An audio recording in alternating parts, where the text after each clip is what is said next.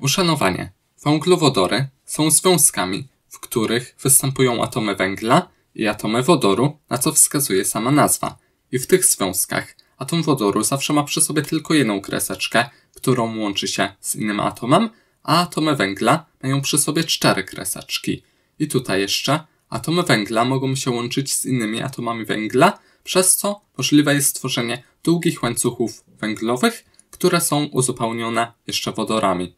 Zobaczmy sobie, jak to wygląda, jak możemy zapisać różne nasze węglowodory. A więc mamy opcję wzorów strukturalnych, gdzie wszystko dokładnie rozpisujemy z uwzględnieniem każdego wiązania. Mamy wzory półstrukturalne, nazywane wzorami grupowymi, w których każdy węgiel zapisujemy osobno, razem z pierwiastkami innymi niż węgiel, bezpośrednio połączonymi do tego węgla, a takie poszczególne segmenty, te grupy tych pojedynczych węgli z tymi wodorami łączymy po prostu kreseczkami i mamy na koniec jeszcze wzory strukturalne, w których nie obchodzi nas, co jest w jaki sposób z czym połączone, tylko obchodzi nas, jaka jest ilość poszczególnego pierwiastka w danym związku. No i nasze węglowodory dzielimy na alkany, alkeny i alkiny.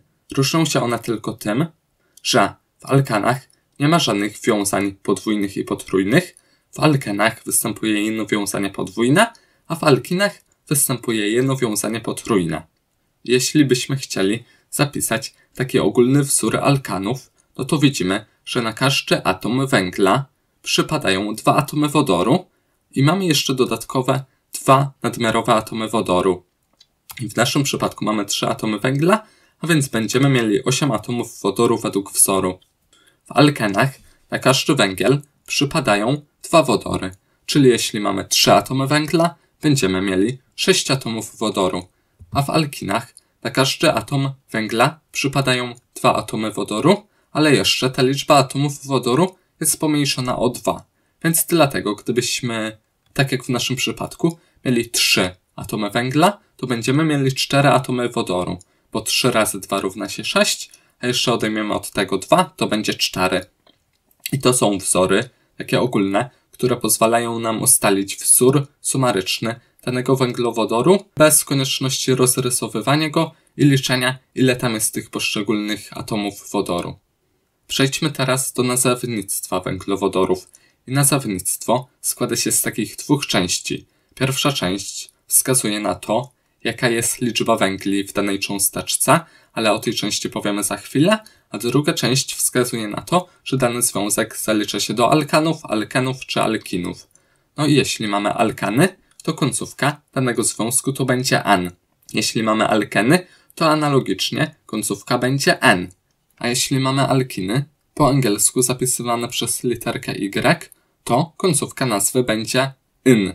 Teraz przejdźmy do pierwszej części nazwy, która będzie wskazywała na, nam na to, ile atomów węgla buduje daną cząsteczkę.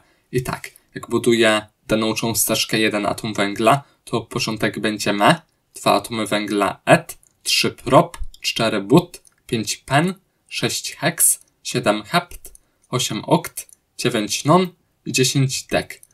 I tutaj jeszcze wspomnę, że podstawa programowa wymaga na Was znajomość tych związków y, tylko do pentanu, ale w większości szkołach uczy się tego aż do dekanu, dlatego podaję tutaj wszystkie możliwości aż do 10 węglowych łańcuchów.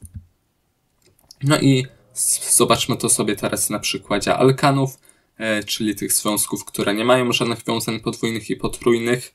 Na początku mamy metan, potem mamy etan, propan, butan, pentan, heksan, heptan, oktan, nonan i dekan.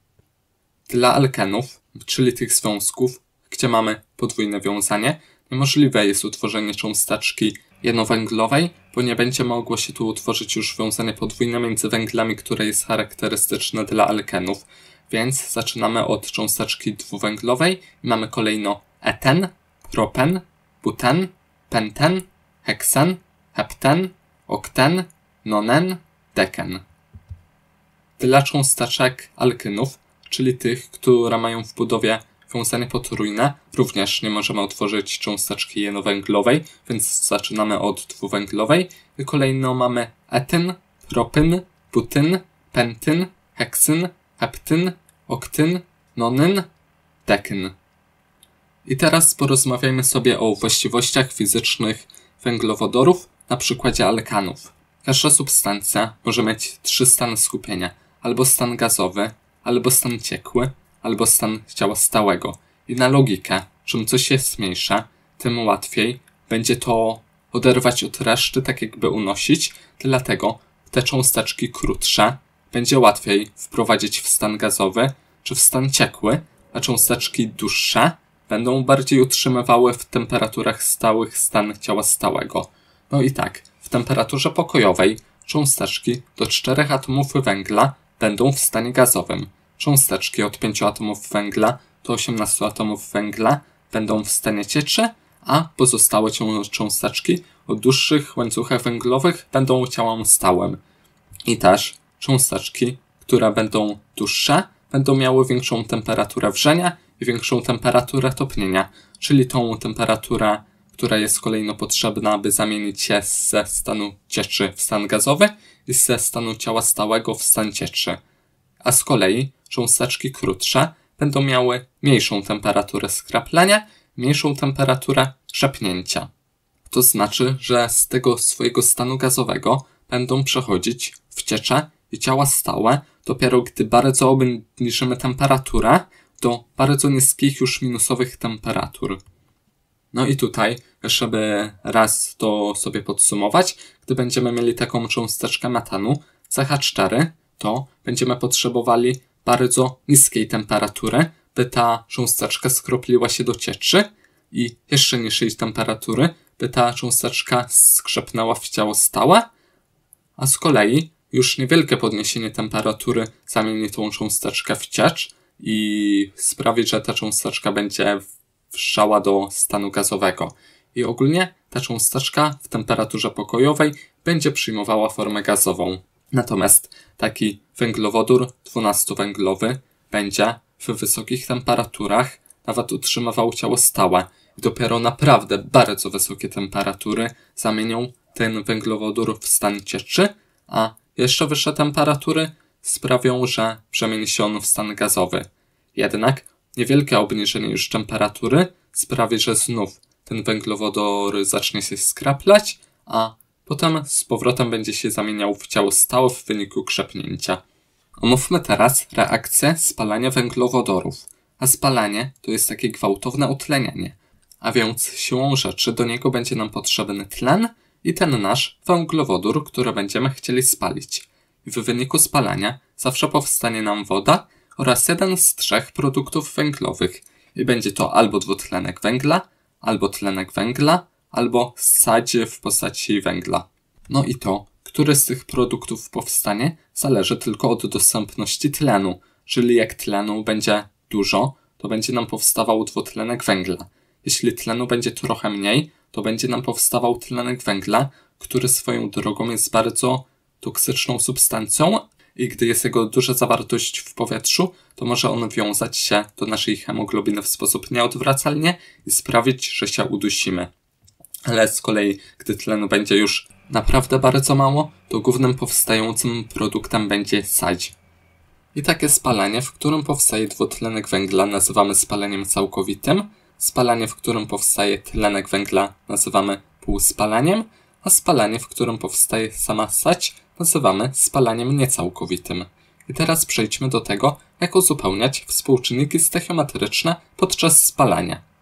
Wypisane tutaj na czerwono cyfry nie są w żadnym wypadku tymi współczynnikami stechiometrycznymi, tylko taką zaproponowaną przeze mnie kolejnością, w jakiej uzupełniać te współczynniki, żeby się nam nic nie zamieszało i wszystko ładnie wyszło. A więc zobaczmy to na przykładzie propanu.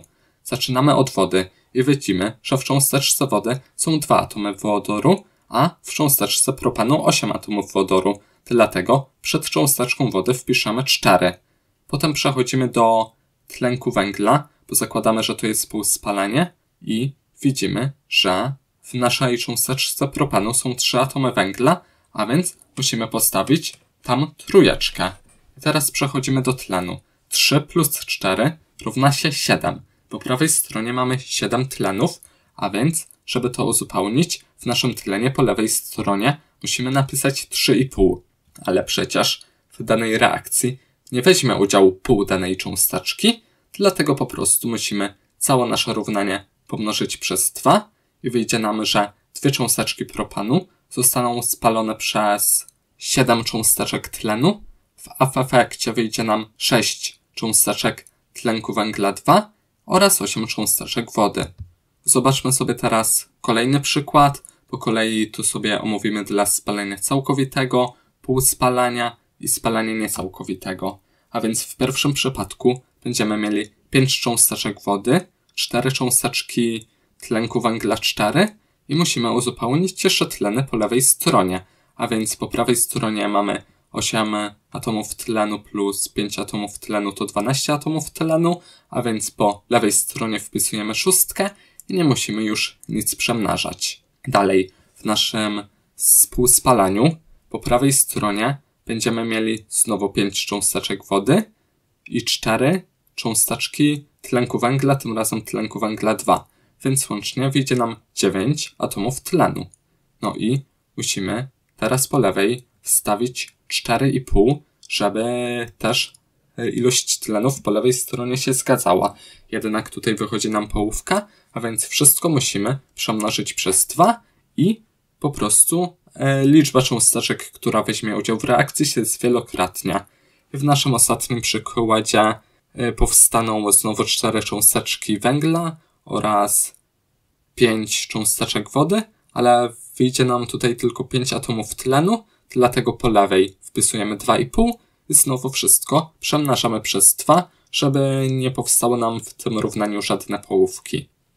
No i z tego co widzimy, możemy zauważyć, że w reakcji spalania całkowitego bierze nam udział najwięcej atomów tlenu, w półspalaniu średnia ilość atomów tlenu, a w spalaniu niecałkowitym e, ilość tlenu jest najmniejsza. Zobaczmy teraz, jak laboratoryjnie możemy odróżnić alkany od alkenów i alkinów. A więc te pierwsze nie mają w sobie w swojej budowie żadnych wiązań podwójnych ani potrójnych, dlatego są nazywane węglowodorami nasyconymi, a pozostałe, czyli te, które albo mają jakieś jedno wiązanie podwójne, albo wiązanie potrójne, są nazywane węglowodorami nienasyconymi. I te nasycone od nienasyconych możemy odróżnić za pomocą takiej wody bromowej, czyli ta woda zawiera brom, ona ma taki złotawy, brązowawy kolor. Jeśli znajdzie się ona z jakimiś węglowodorami, które mają albo wiązanie podwójne, albo potrójne, to przereaguje z nimi i się po prostu odebarwi. Ale jeśli ta woda bromowa znajdzie się razem z węglowodorami nasyconymi, czyli z alkanami, to po prostu nie będzie żadnej reakcji i woda bromowa się nie odbarwi i to jest taki łatwy sposób na odróżnienie właśnie tych alkanów od alkanów i alkinów. Powiedzmy sobie teraz o polimeryzacji, czyli takiej reakcji, gdy jakiś dany związek, który musi mieć tutaj wiązanie podwójne albo potrójne, polimeryzuje w taki dłuższy łańcuch.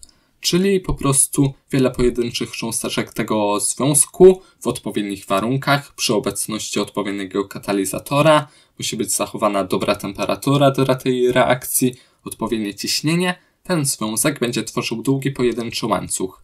Czyli gdybyśmy mieli 7 y, cząsteczek etanów, to te 7 cząsteczek etanów utworzy taki siedmiosegmentowy łańcuch polietanu. I taką reakcję właśnie nazywamy polimeryzacją, a polietan jest przez nas dosyć często używany, bo to jest jeden z rodzajów plastików.